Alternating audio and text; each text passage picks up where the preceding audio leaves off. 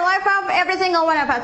Why is it so important to wake up early? The question is new. No, Afghanistan is one of those countries that you know majority for the young generation is either girls and boys. Both of them they wake up a little bit late. The question is in hand what has from every single one of you. Why is it so important to wake up early? Is anyone who wake up early?